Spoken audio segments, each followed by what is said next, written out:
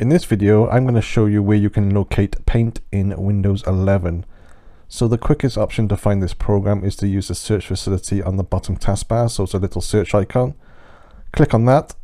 Once that expands, type in Paint in the top search box. Usually PAI is enough. Then Paint will appear. You can click on that to open up the program.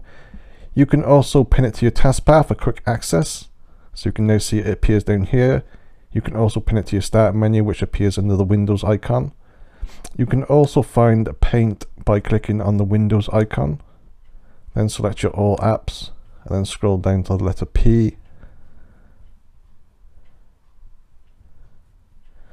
And under P you can see Paint and again you can click on it to open it. Or you can left click hold and you can drag the program over to your desktop and then you can reposition it and every time you want to use paint it will be located there. So that's how you can find it. Thanks for watching